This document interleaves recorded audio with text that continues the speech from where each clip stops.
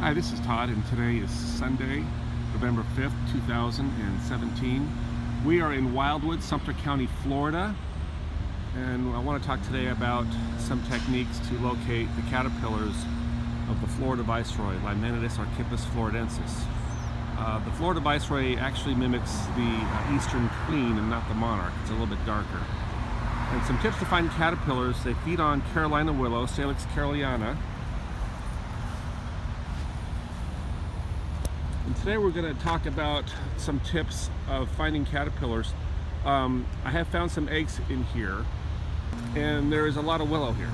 So I'm walking along the road and I can guarantee you there's some caterpillars that can be found. But when you find large stands of willow, the productivity of finding viceroy caterpillars tends to drop because there's so much host plant that the females have to choose from.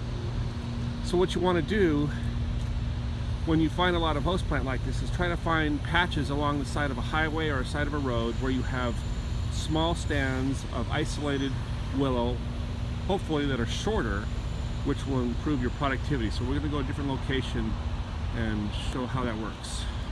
Okay, we have ventured a little bit further west along Highway 44. Um, we are along the highway in a depression where there's natural accumulations of water here in this semi-gully and the willows are much more scarce here. But where there are isolated stands of willows, female viceroys have fewer targets to choose from. And so our productivity in finding eggs and caterpillars, uh, even hibernacula, will be a little bit more productive. So let's see how we do. Okay, so we walk up to this plant and right there is a rolled leaf hibernaculum Florida Viceroy. So he's gone into hibernation right here and that that will not focus so I'll get a better still shot. That would be an egg. So whenever you're looking for viceroys or red spotted purples, always focus first on the tip of the leaf. The eggs are laid on the tip of the leaf and the caterpillars construct a conspicuous perch and actually uh, rest on that perch at first, second, and third instar.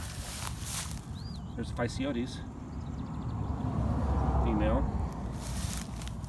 Here we have a second instar, and he's, uh, I'll get a better still shot, sitting on his perch. Here we have a hibernaculum with a caterpillar that's backed out a little bit. When they build a hibernaculum, they do that at third instar, when they hibernate. This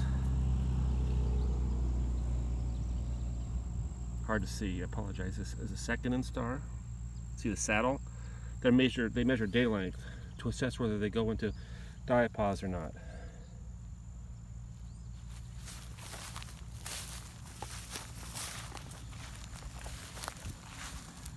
Here we have a large fifth instar.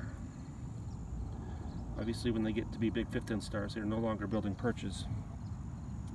So I've looked on a lot of willows but one thing that helps is when you know that there's a population, try to focus on areas where there isn't a lot of host plant, creating a situation where the female viceroy has fewer options and you'll tend to be productive where you look uh, right there.